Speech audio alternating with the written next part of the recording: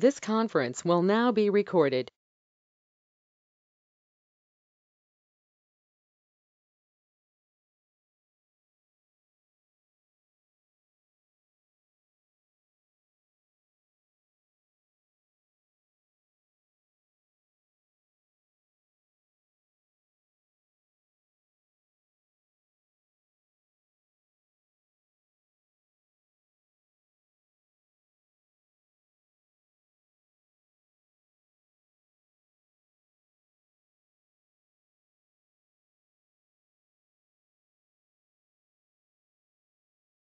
Hello, everyone. We're gonna wait a few seconds before um, everyone joins, and then we'll we'll start the webinar.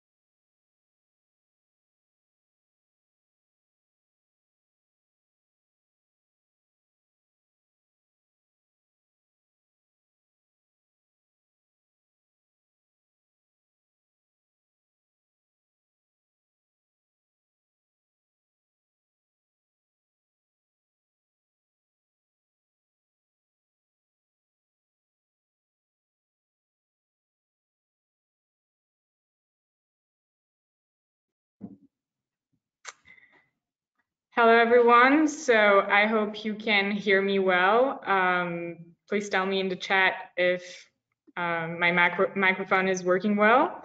Um, I am really happy to host this webinar on behalf of SGAC. Um, so welcome to this third edition of the Space Generation Advisory Council's webinar series on space and cybersecurity. Um, is a global non-governmental nonprofit organization and network which aims to represent university students and young space professionals to the United Nations, space agencies, industries, and academia. Our project group is focusing on space-related cybersecurity issues, and if you would like to join the project group as a member or as an advisor, you can contact the project leaders, Antonia Russo and TF Lem. I'm Clémence Poirier. I'm a research intern at the European Space Policy Institute, and I will be the moderator today. So after a first webinar on cybersecurity and space law, and a second one on the cybersecurity of space-based weapon systems and the protection of space missions from cyber threat, this webinar will focus on space for the Internet of Things.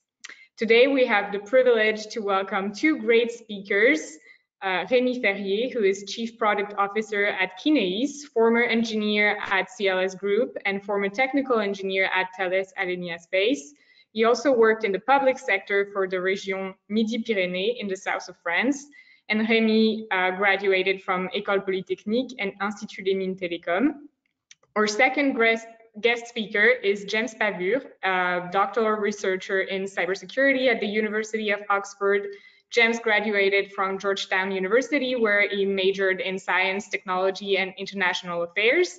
His research focuses on satellite system security with a particular interest in satellite broadband communication, space situational awareness data, and satellite hardware security. He recently presented his research at the Black Hat conference, where he shared a number of his discoveries on the vulnerability of satellite communications.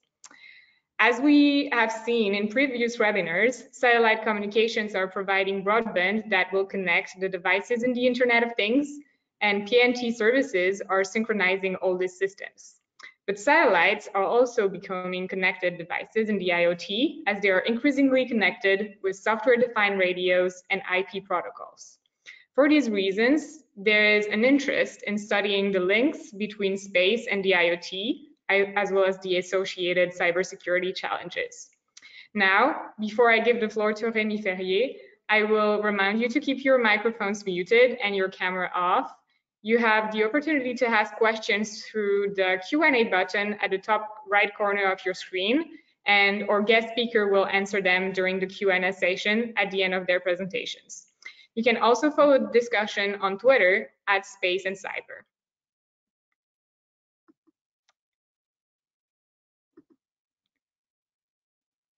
So Rémi, you have the floor. You can share your screen now. Hello, everyone. Let me load my presentation.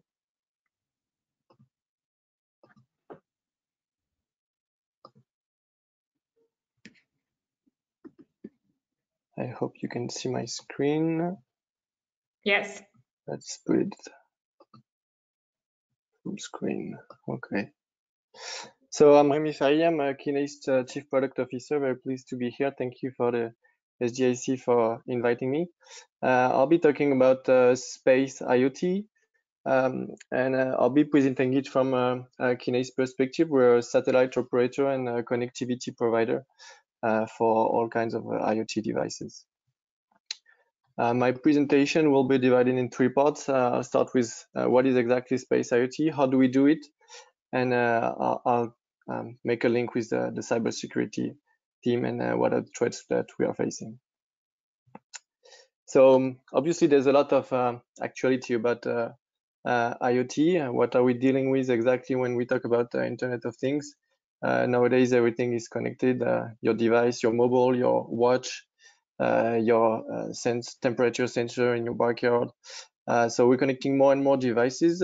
no one agrees on the number of devices, but everyone agrees on uh, the fact that there's there are billions of devices already connected today, and the trend is only increasing in the, in the coming years. So uh, I chose three maps of um, uh, low data rate uh, uh, terrestrial IoT networks, LoRa, Sigfox, and the NB-IoT just to illustrate the fact that um, there are various um, solutions to provide connectivity to um, IoT devices on, on Earth, uh, but obviously none of this network will uh, cover all ground and all sea uh, at any point. and even if countries that are supposed to be covered by a specific network then uh, there always remains uh, um, white uh, white areas where you cannot uh, have connectivity so all of these um, makes a reason for um, satellite IoT to exist and it's been here for for quite a long time now and we can hope it will only increase in the coming year with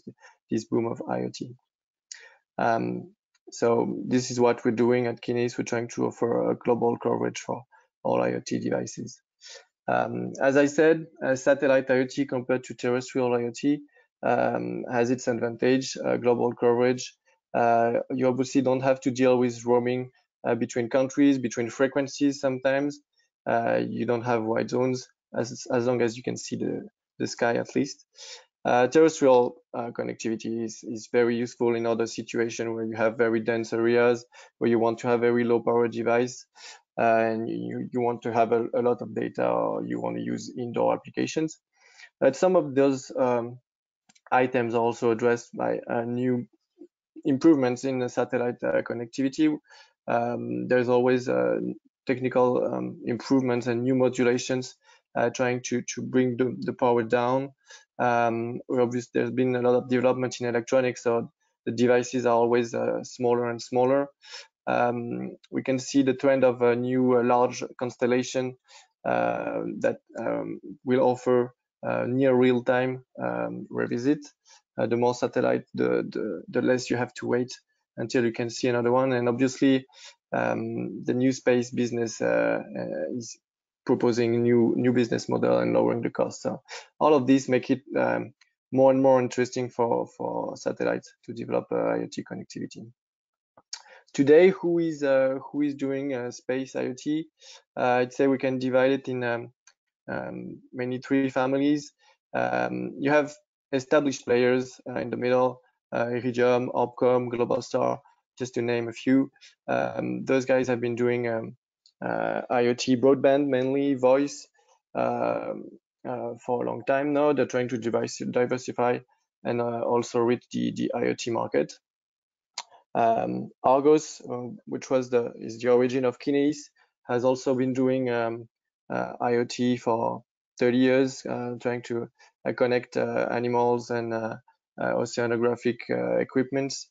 Um, now we have uh, new space uh, companies, um, the large one that everyone knows, obviously, with SpaceX and Starlink, OneWeb, doing internet broadband, but then also a large number of new companies trying to do lower lower data rate IoT constellations.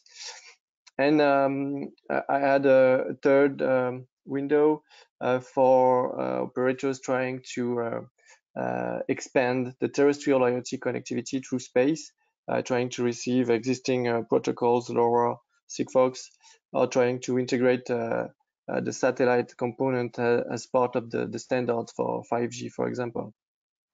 So there's a lot of, uh, of interest in, uh, in satellite IoT, obviously. Why now, we can wonder. Uh, obviously, it all comes from the new spaces, the new space technology.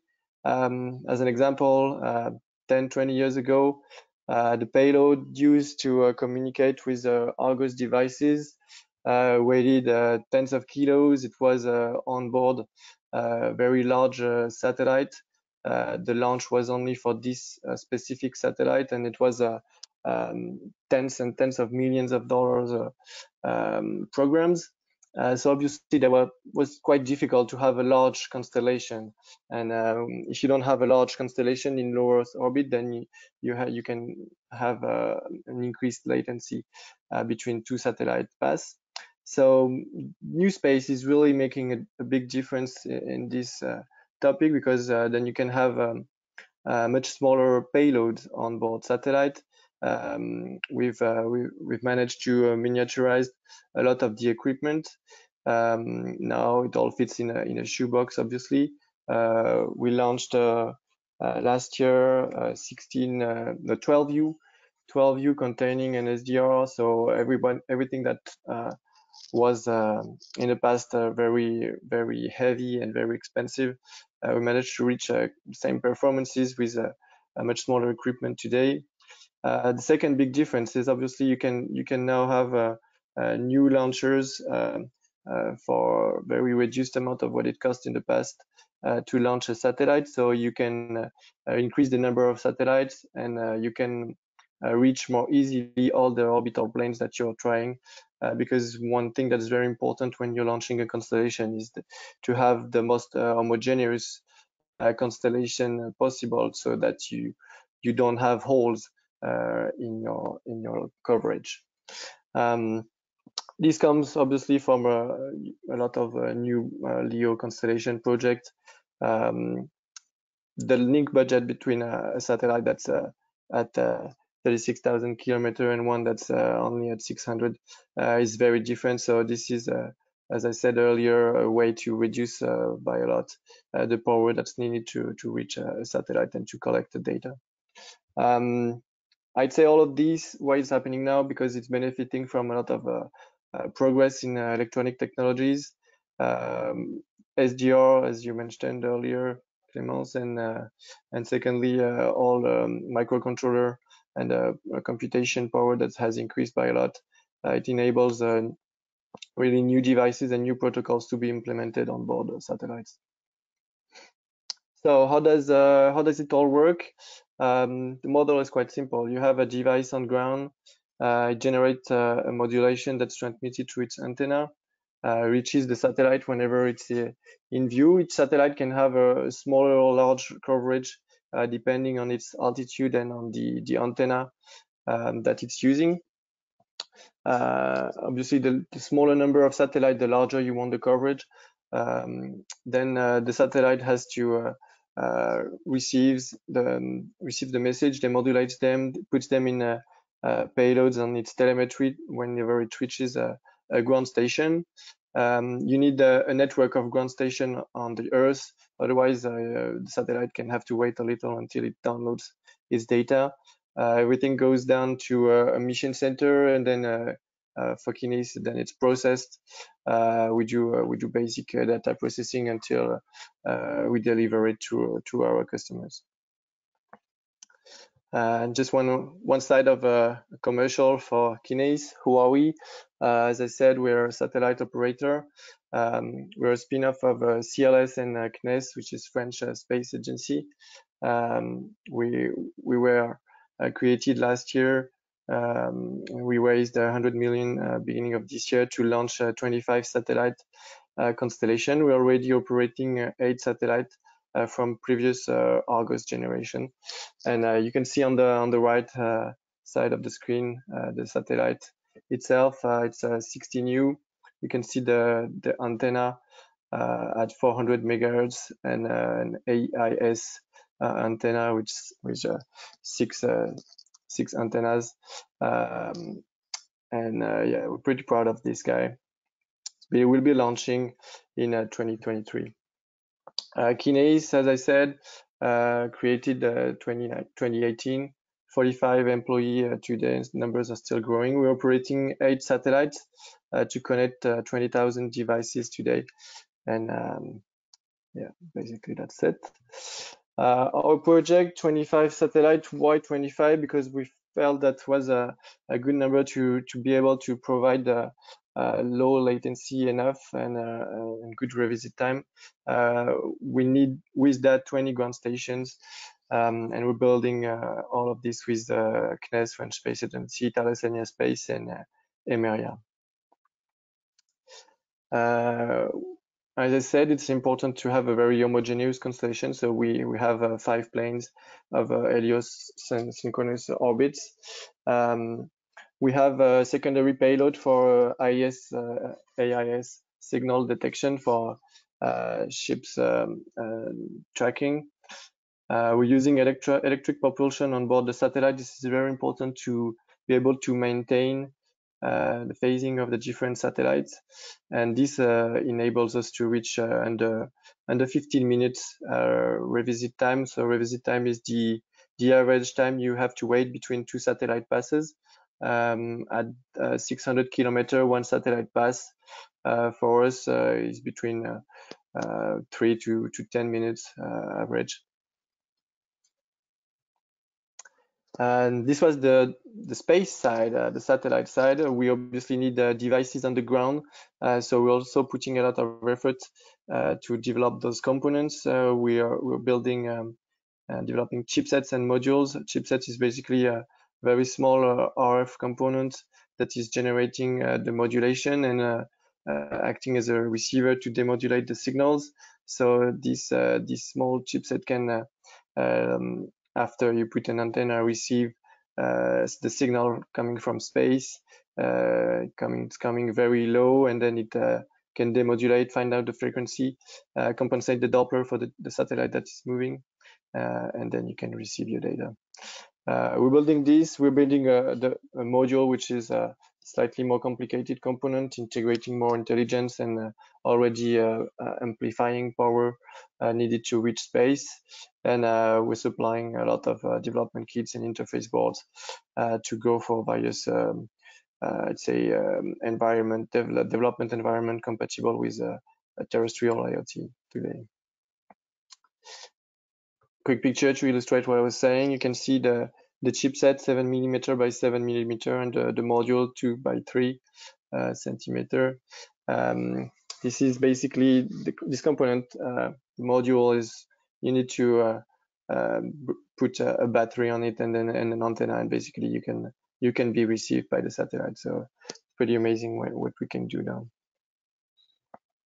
Our applications, um, we, as I said, uh, Argos uh, historically was very focused on environmental businesses uh, for science and fisheries monitoring, um, animal tracking. Uh, today, we, we're expanding those activities and uh, going into uh, logistics, industrial IoT, or smarter agriculture.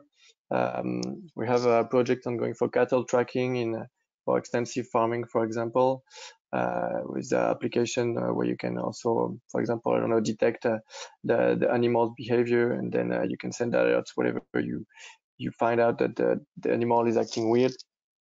Uh, for logistic, where you can obviously think about container tracking, uh, but also uh, monitoring of uh, uh, conditions of transport, uh, monitoring temperature, pressure, whatever you need to make sure your your packages are, are, are delivered safely.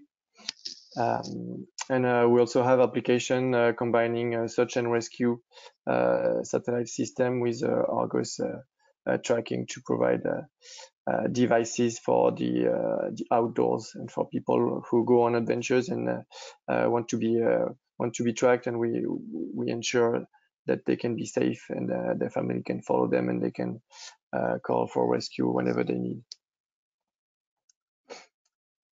Um, as part, so how do we how do we secure the communication? As you can imagine, there are uh, there are many links. Uh, it links uh, you know, can present different threats. Um, I won't be talking too much about the, the ground side uh, when whenever it has reached uh, the ground station and then communication to the mission center and then the user. Uh, it all goes through internet, so um, it's mostly very standard uh, secure protocol. Uh, there, we make sure that um, every component uh, of the chain, especially uh, all components that can uh, talk directly to the ground station and then to the satellite are very secured and isolated from everything else. only a very few people are, are authorized to, to access it. So um, all, all, the links between uh, ground and space.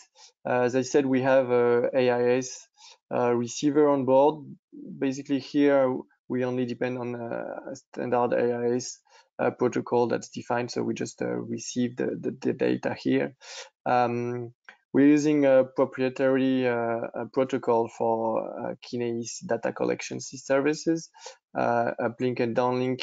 So we have a dedicated modulation and protocols for for those two links. I'll be coming back to this in the, my next slide. Um, and for telecommand and telemetry, uh, which are the the most important links. Then here we have uh, encrypted and authenticated communication. Um, each satellite is identified, ground station is identified. Um, and uh, here we, we use uh, our own uh, proprietary uh, protocols also. So what are the threats, especially on the link between the device and the satellite? obviously, you can have interception. Uh, you can uh, have uh, someone trying to spoof a device, pretending to be it, and then send data to the satellite. you can have um, uh, very easy attacks. Uh, you record signal and then you replay it, and uh, and you can have basically jammers trying to um, provide to make interference with your own devices connected. Uh, so what can we do about uh, about all these? Um, there are various answers. Uh, I won't give all the details obviously today, but uh, I can I can explain a, a little more. Um, data encryption is the base the basis very because you can understand. we authenticate um, each message that's been sent on the network. So uh, each time we receive something, uh, there is a, a check that is made to verify that the message uh, is uh, complete and that it has been sent by the device whose ID we can see in the message. Um, so this this is a, a protection uh, against uh, spoofing mainly and um, uh, replay attacks. Um, we have counters, message counters, and other other items that prevent from replaying a message. Um, we have uh, obviously a, a, closed protocol which is proprietary. So when if you listen to the signal, uh, the first thing is you need to understand wh what is where, uh, which bit is used for what. Um, it's um, you can you need to think about the the IoT traffic is a very not so frequent. Um, device can send uh, one to 20 message a day. Um, so at the end of the day, it's not so much traffic to run a, a brute force attack in, in some cases. Um, and then finally, we also uh, have a device certification. So we know uh, all the kind of devices that are allowed to talk on our network. and this is pro this provides an extra uh, security for us. And uh, last um, last thing I wanted to to focus on uh, is also something we we can do to help uh, protect the integrity of uh, our system. Is that we do um, Doppler uh, localization. So the physics is very simple um, because um, devices can send um, multiple messages over the same satellite path. Uh, the satellite receives it from a different position uh, and it has different speed regarding uh, the position of the beacon when um, when this happens. So uh, this enables with very precise frequency measurement uh, and very precise uh, frequency oscillator in the device itself. Uh, this enables for quite quite precise Doppler localization of the device itself down to 150 meter, for example, uh, in, in best cases. Um, so this makes it quite harder uh, for a device to, to spoof another one, especially if you have multiple um, multiple uh, satellite uh, visibility, because then uh, the, the, messages are received by various device and um, you can know where the device was uh, in the past. And if you see it coming from somewhere else, then it's, it's getting complicated. Um, we can locate jammers this way and um, even uh, even if the device has a GNSS, the GNSS can be spoofed more easily, um, and uh, the Doppler localization is a is a complementary um, check to validate that the, the, GNSS position has been received is uh, is correct. So basically, that was um, that was it for my presentation. I'll be happy to uh, uh, answer all, all your question uh, uh, at the end. Handing it back to you, Clemence. Thank you so much. For me, it was a very interesting and complete uh, presentation. I already received a lot of questions from uh, the audience. Um, so with all those um, increasing numbers of connected devices and new actors coming in the sector, um, there's uh, really a lot of um, cybersecurity concerns that uh, James Pavur, our second guest speaker, will uh, present. Um, so James, I give you the floor right now. Great. Um, are you all able to see and hear me? Uh, we can hear you. We cannot yet see you. All right. Let me see if I've got the display up for screen sharing.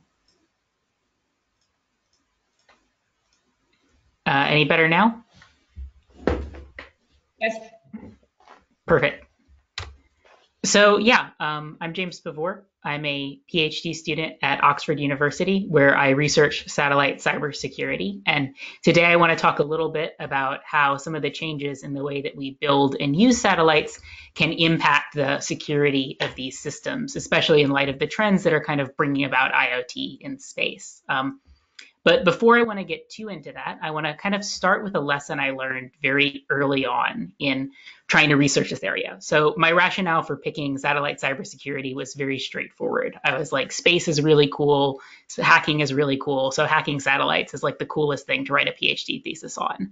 And I learned very quickly that it's actually quite hard to hack satellites today. And there are a lot of different reasons um, that act as barriers to someone who's interested in finding vulnerabilities in these systems.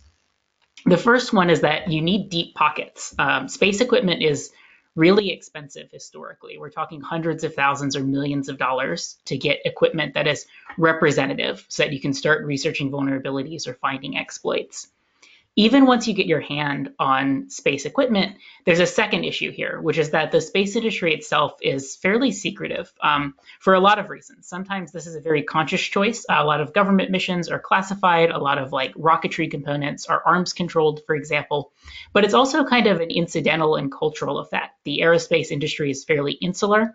Um, it doesn't really intersect a lot with the cybersecurity world or the computer science world. Um, so it can be very hard as an outsider to kind of get started on applying general cybersecurity knowledge to the specific domain of space.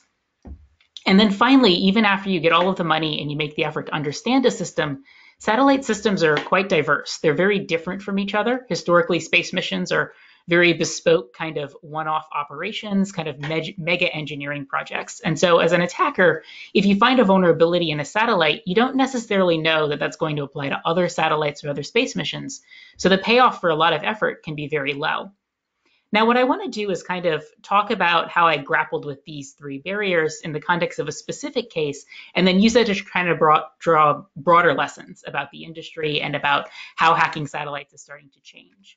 So what I looked at in my research pretty early on was uh, satellite internet communications, specifically VSAT services, very small aperture terminals, uh, like this one here, um, that you would put on a boat or an airplane in order to stay connected to the internet while you're in some remote locations. And I'm going to kind of walk through each of those barriers and how they apply to the VSAT case, and then how we were able to kind of work our way around them as a model for attacking these systems.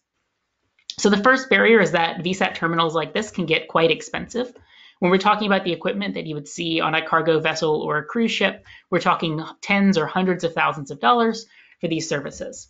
What we realized pretty early on, though, is that for a variety of kind of commercial and technical reasons, this equipment often operates in the same spectrum that you would expect to see television services. So, for example, a lot of VSAT services operate in the KU band. And so our first intuition was to see how far kind of like standard home television equipment could get us in terms of being able to intercept and interpret these signals. Uh, we picked up a PCIe card like this. Um, they're widely available and fairly cheap uh, because people want to watch like satellite television on their computers. So it's not very hard to get access to this kind of equipment. And over the past five to 10 years, these cards have gotten pretty sophisticated in terms of their ability to keep up with complicated modulation schemes and to be able to do things like hunt for feeds on different satellites. You combine that with kind of a standard satellite dish, and you're able to at least receive signals that are coming off of these satellite platforms that we know offer VSAT services. The next challenge is really a reverse engineering challenge. It's dealing with that kind of secretive and insular na uh, nature of the industry. There are no satellite internet providers that post on their website, this is the protocol we use, this is the frequency we use. Um, and so you have to kind of piece that all together. The first challenge was actually just finding the signals that were carrying internet traffic. And one of the big edges here is that there's a lot of software these days that's designed to help people scan the radio spectrum, whether that's for software defined radio applications or if it's specifically for hunting like satellite television channels. And you can kind of apply a broad scan of the KU band of the radio spectrum, start to pick out where interesting frequencies are going to be.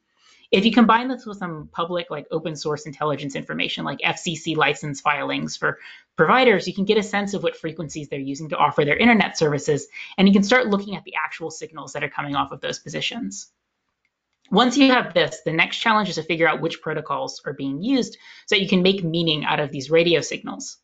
One of the nice things about internet services is that there are high incentives towards standardization, right? You want your airplane to be able to connect to satellite internet, whether you're over the Atlantic Ocean or the Pacific Ocean, and you maybe even want to be able to switch service providers. And so having standard protocols is very common in the VSAT world. Uh, we eventually determined that the basic protocol that was being used by these particular services was the DVBS or Digital Video Broadcasting for Satellite standard. And then on top of that was a standard called Generic Stream Encapsulation or GSE. Both of these are open standards. Uh, that means that they're publicly described in online documents. So as attackers, all we had to do was kind of read through these documents and write a tool that interprets these standards. And then in theory, we could understand what was happening in these signals. Unfortunately, that's where we ran into the third challenge, which is that there was actually quite a lot of errors with our initial approach. We found that there were a lot of differences in the way that these signals were uh, operating from provider to provider or from satellite to satellite.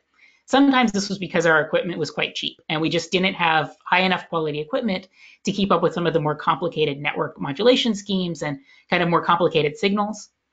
Sometimes it was also due to proprietary modifications to the protocol standard, things like header extensions or kind of modified versions of GSE. And so we took a step back and we said, you know, we aren't trying to design a satellite modem. We don't have to get this perfect. How close can we get that would be good enough for an attacker to find something interesting? And we built a tool that we call GSE Extract, and it essentially cheats at the signal processing problems. It focuses on the absolute easiest packets to find, the stuff that's at the start of a payload, the stuff that clearly has an IP header, and just kind of brute forces at scale. Computers can keep up with these schemes. The networks don't have high enough bandwidth that it's really a struggle to do a lot of guess and checking. And what we got was good enough for an attacker. This image on the right is a great example. Uh, we intercepted this from an email that an engineer aboard a maritime vessel sent about a maintenance issue. And you can kind of see the results of using this approach. We were able to get a good chunk of this image before we started losing packets and having kind of signal processing errors. And then we couldn't decompress the rest of the JPEG file. But if there was something interesting in that top chunk, that might be enough to kind of get a hacker started. And in practice, we found that it often was enough. So for example, um, we identified that when cargo vessels and other ships would pull into ports, they would often have to transmit visa and immigration information to various authorities in the different jurisdictions.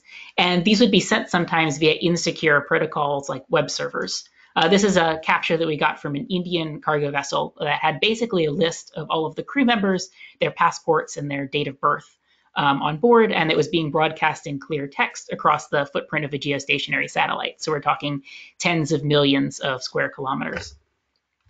Another great example um, that I thought was pretty interesting was that we saw a lot of personal communications, people who were using insecure email protocols, for example, over a satellite link. Uh, this is a particularly fun example. It's an email that we intercepted um, from the captain of a Greek billionaire's mega yacht he had forgotten his Microsoft account password login. Um, and so the email with that password reset link came over clear text. It's pretty intuitive to see how this could be used to either uh, target a high net worth individual in a sophisticated phishing operation or engage in kind of a more scalable account hijacking style attack. We also saw operational data that affected kind of the actual working of cargo and other vessels at sea. Um, a great example of this is that a lot of maritime companies will transmit navigational charts via FTP file shares. So there'll be a server running on a ship um, with a folder on the FTP file share where you'll copy over kind of the latest nautical charts. And um, the passwords for these were being sent in clear text over the satellite link and were pretty easily intercepted and depending on the specific implementation of their navigational terminals, it could be pretty straightforward for an attacker to say modify a nautical chart and upload a malicious one that's missing a sandbar or something. And that could have pretty catastrophic environmental consequences or operational consequences. We also saw some traffic from airplanes, uh, which was interesting. Um, a good example of this and kind of the IoT environment is the emergence of these things called femtocells, which are essentially miniature cell towers um, that they put on airplanes that you can do things like send text messages or receive calls just as if you were on the ground from your phone. And so if you forget to put your phone into airplane mode or if you're consciously using one of these towers, um, it turns out that the traffic on the other side is being broadcast across these satellite feeds. And so we're able to do things like read SMS text messages that were destined to individuals aboard various flights. And that can reveal all kinds of sensitive information. A great example is this image here, which includes a uh, negative coronavirus test result that an individual received during his transatlantic flight. And I think it's a really good example of how this kind of deeply sensitive information can get broadcast in these networks because these networks were designed kind of with an assumption that nobody would be able to listen to them or interested in listening to them because the barriers to entry were so high. But now that those barriers are changing, it kind of needs to recalculate what the security framework looks like.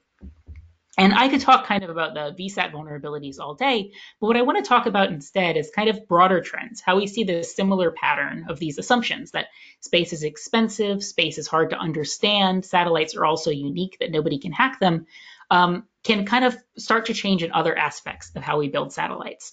So let's start with the first assumption, which is that space technology is just too expensive to get at for hackers, too hard to understand in a way.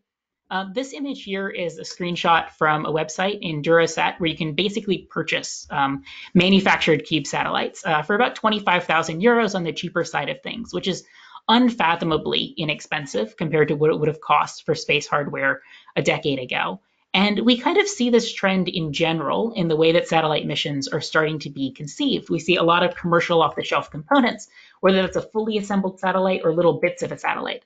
So as an attacker, instead of having to work for an aerospace company or get access to an entire functioning satellite, you might be able to buy just a specific camera or GPS or flight control module and start looking for vulnerabilities in that specific commercial module.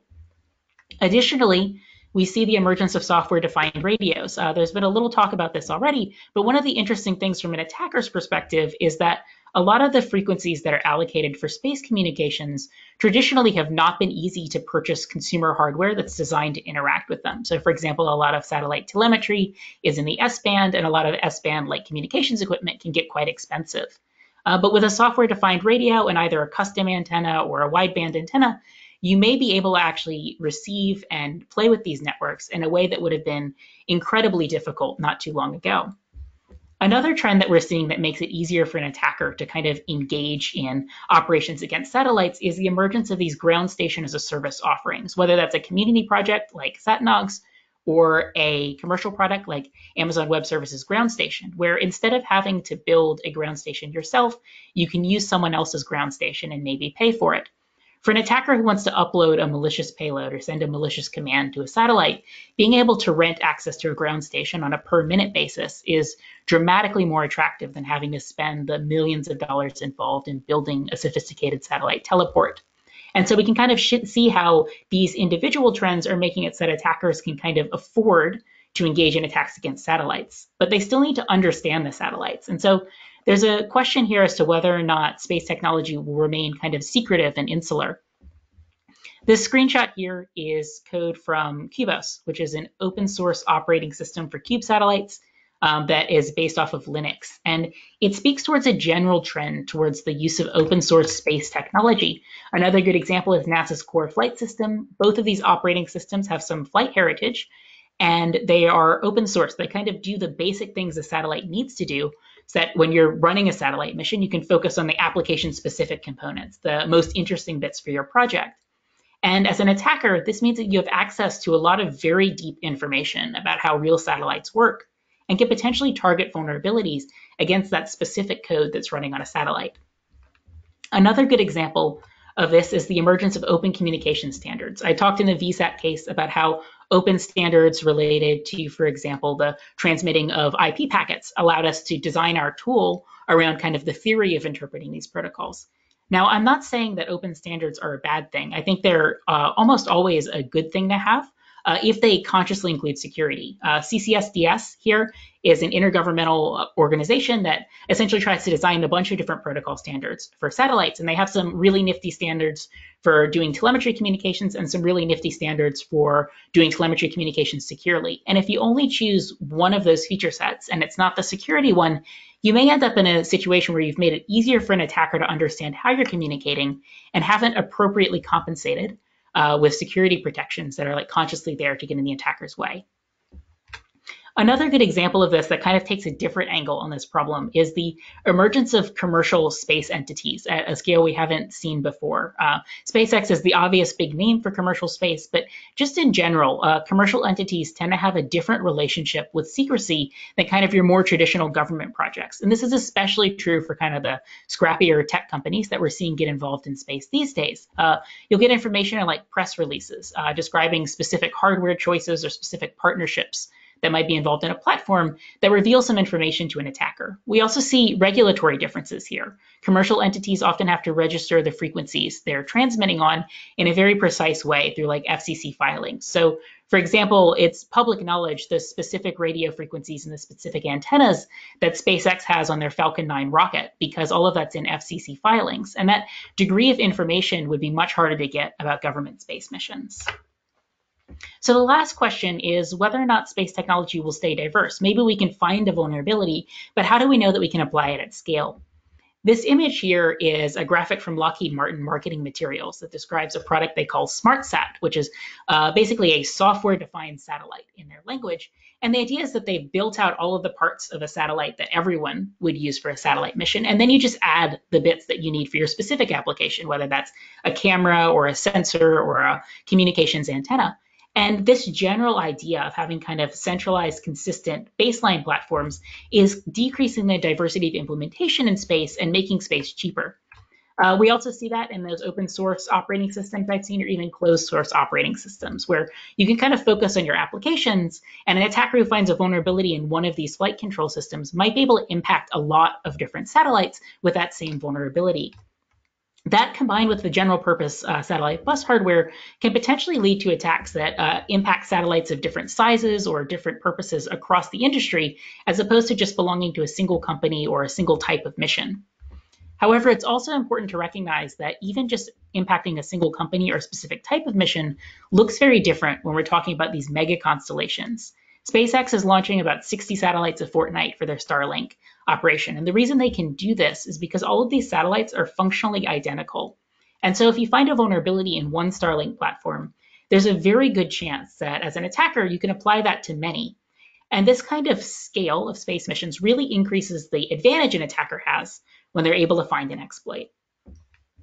So to kind of sum things up into a central lesson for people who are interested in building secure space missions, I think that uh, the industry needs to remember that they can't hide forever from attackers. And the space industry has done a really good job, perhaps a better job than any sector I can think of, of hiding from cyber attacks. There are a lot of structural factors about the way space missions work and the way satellites are built and designed and the business functions of this industry that have acted as barriers to entry for attackers and people who want to harm these systems. However, going forward, we're seeing changes in the technology that's used to make satellites that has incidental effects on these structural factors that are a little bit chaotic and a little bit hard to pick out. It's hard to know that a software defined radio that some hobbyist on the ground is using could impact the security of your satellite's telemetry protocols. And so as these threat models shift, that we need to be a little careful that these small tech changes are taken into account. Um, I'm not saying we should not embrace the kind of new space mentality of having cheaper satellites that are easier to build and more open. I think those are all great things and will really improve the way that space can make our lives better. But as we dive into this next generation of space, I think it's important to make security a conscious choice. Um, in the world of aerospace engineering, it's it's very tempting to think of risks as a probabilistic thing. There's, you know, some percent chance that a piece of orbital debris will strike your satellite.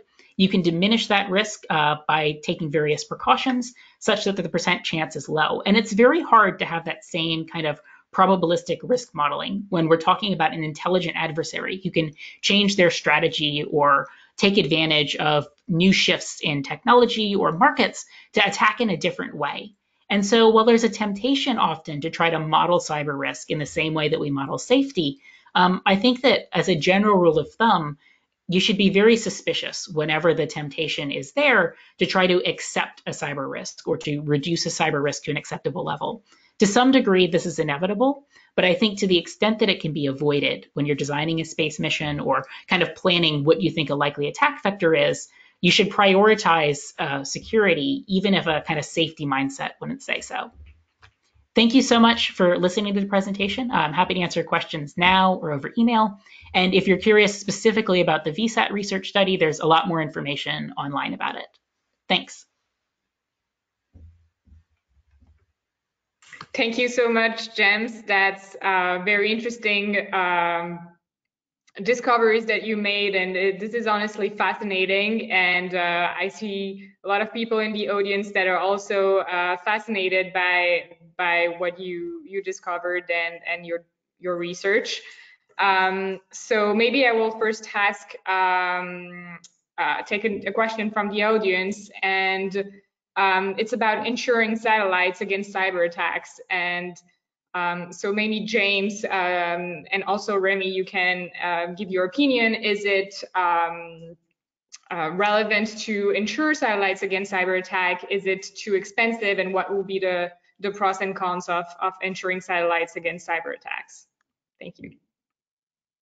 Well, yeah, that's a really good question. Um, I'm not an expert on insurance and especially not insurance for satellite missions. I think that one of the appeals of trying to insure a satellite mission against cyber attacks is that you potentially hand over that very tricky risk calculus of trying to decide what the actual likelihood of a threat is to someone who has more expertise in determining that. And so especially if you're not super confident in your own threat modeling, cyber insurance can kind of help you decide what degree of risk is acceptable and kind of plan your mission around that, which I think is really appealing. Um, but also, you're correct that it can be quite expensive, and it's possible that insurance companies are passing off the like inherent unknowability of cyber risk onto you in forms of the premiums and the cost of that policy. So I think it's a it's a pretty difficult business decision right now. I, I agree with I agree totally. Uh, and I'll, I'll, add one more difficulty is how do you evaluate the consequence of the prejudice? I mean, if if the satellite gets hacked, uh, what what is hacked exactly? Can you just get data? Can you control the satellite? Can you upload something on the satellite? These these are very different uh, uh, ways of attacking the satellite and can have very, different consequences. I mean, if you get access to uh, the, the electronic propulsion uh, of the satellite, then then what can you do with it? So it, I think it's very difficult to find a business model for an insuring uh, service uh, in that regard. Thank you. So yes, um, assessing the damage is indeed required to ensure the the, the satellite itself. Um, so there's another question from Diana, Chiquez Garcia about um, your Kinéis uh, constellation, and she was wondering if the security requirements uh, that you're applying uh, are requirements that you decided um, as a company, or are they required by the state, so France or the EU maybe, um, and what kind of uh, decisions are internal and maybe what kind of decisions uh, are required by the state? Um, I'm, I'm unfamiliar with the the uh, uh the law on uh, space operation in France. I know it's one of the laws that has been is most the most advanced in uh, the way it controls the satellites and the way they're launched and the way they're operated. I don't know if they go that far as to analyze very precisely the protocols and the security protocols that are, are in place. What I can say is um, our our protocols and our security measures they're, they're based on uh, uh, previous knowledge uh, from uh, uh, the CNES and the French Space Agency and all previous missions. Um, that's why also we, we are working with uh, big players like Thales Alenia Space who have a, a long history of um, bigger satellite and very secured infrastructure. Um, so we basically um, benefiting from all their experience in, in that regard uh, for, for our protocols. Thank you. Do you have um, any opinion, James, maybe on, on regulations that um, states can uh, require from satellite companies? Yeah, I don't know a ton about the specifics of space regulations, but I do know from my experience with disclosing specifically those vulnerabilities to like satellite internet service providers that there was quite a degree of uh, ambiguity, at least perceived by them, in terms of who had responsibility for encrypting communications and ensuring they were secure. So we would disclose to a satellite operator and they would say, oh, we went we rent that transponder. So it's the person who's using its responsibility to ensure it's encrypted we would talk to the internet service provider and they would say, oh, it's the customer's job to ensure that they're encrypting their traffic. It's, sensitive. We just provide internet services. And so I think that regulatory clarity could go a long way in terms of being sure that the person who is taking control of that risk knows that they're taking control of that risk because kind of each person in the line assumed that someone else was going to deal with the cybersecurity prospects for them. Thank you. So I have another question from the audience uh, who is wondering um, whether LEO orbit constellation will be better for cybersecurity because maybe uh, applying encryption is uh, less convenient than in geo orbit.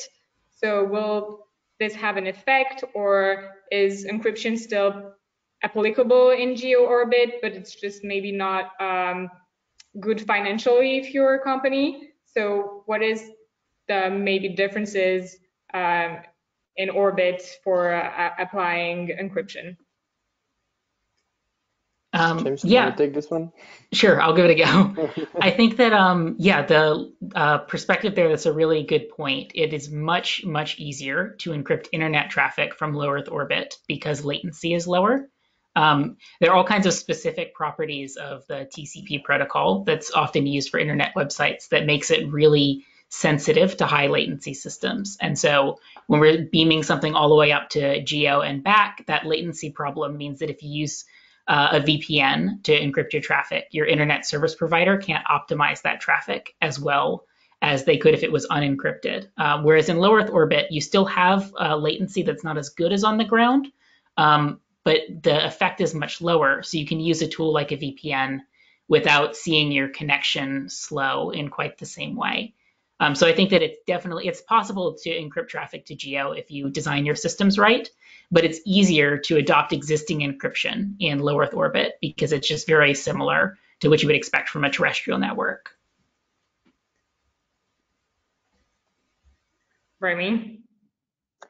I don't have much more to add. Um, uh, everything you mentioned, James, says, uh, was nice. It's related to um, broadband and internet. So in space IoT, um, then here the, the real time uh, is a different matter. So uh, whether you take one more second to reach the satellite or to decode everything, uh, it's not necessarily a matter. So in this case, there wouldn't be necessarily a difference between geo and LEO orbit.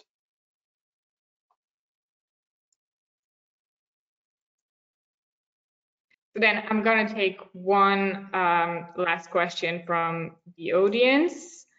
Um, so someone is wondering uh, if applying cyber situational awareness uh, to satellites is uh, a good idea to prevent from cyber attacks, and is it significantly uh, more expensive for companies to do that, or is it still worth it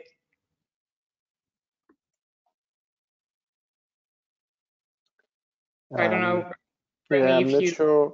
I'm, I'm not sure I'm the right person at Kineis to answer, but uh, so you mentioned what cyber uh, Situation situational with us? Trying to see what's going on in all your network and see where the data goes and if there's something that goes out or something that connects um, that is not authorized, which is in a way what you explained.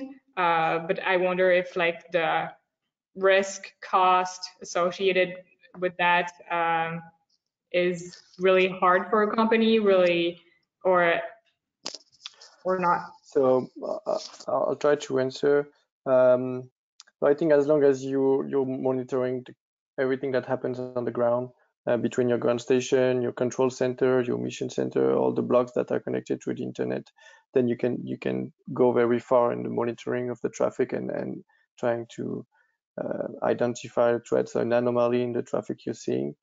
Um, but once you're dealing with the satellite itself, uh, then if you want to be able to monitor everything and detect um, malfunction, uh, you might need to add another layer of, of uh, uh, monitoring that uh, on top of what you're already doing, and then this will affect your traffic, your data that you have to go to bring up and down.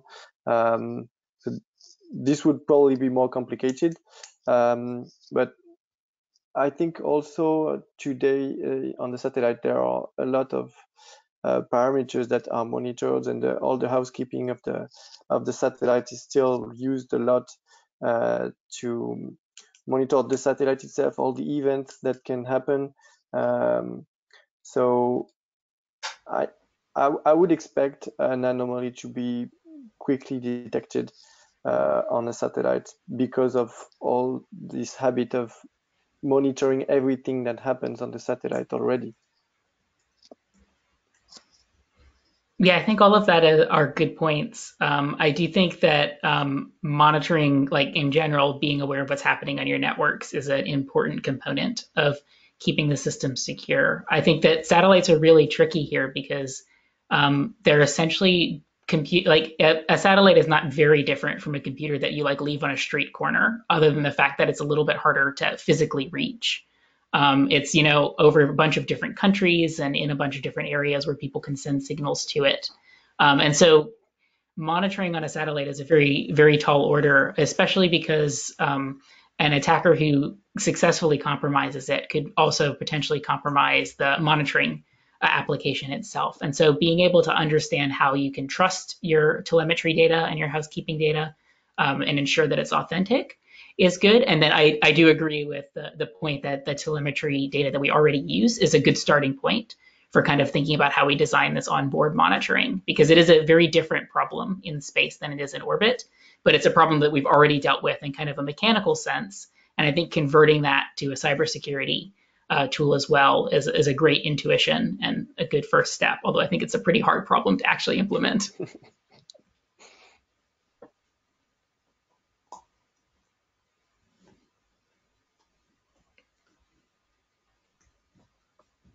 Uh, there's uh, one last question from the audience about um, the accountability in uh, IoT systems and in uh, space operations.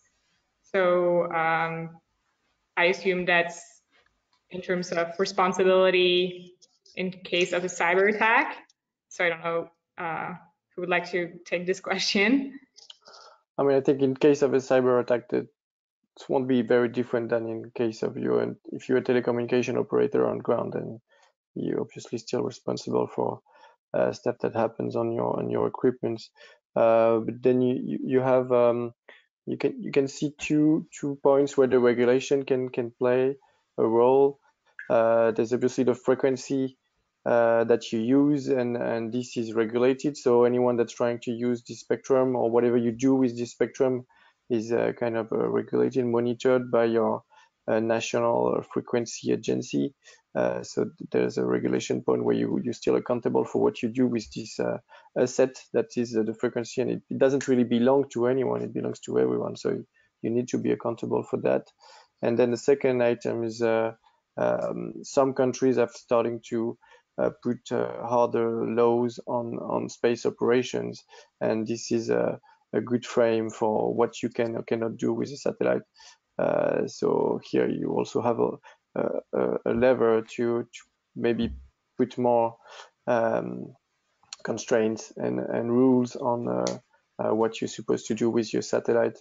Um, and, and, and in this case, you're accountable for what happens with your satellite. So you you have a commitment to a deorbit in case something goes wrong or whatever.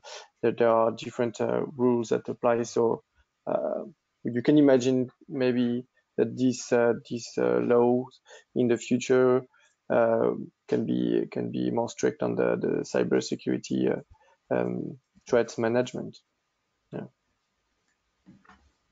Yeah, I don't have much to add to that. I think that accountability um, from a cybersecurity perspective, a lot of it is about kind of consciously deciding um, who's in charge of different threats and who's in charge of controlling different risks when you deal with shared systems like an IoT network or a satellite platform, especially if there are multiple payloads on it. And so I think that in terms of regulations and stuff that deal with accountability, a lot of just assigning responsibility for certain components of the system uh, could be clarified in, in regulatory environments.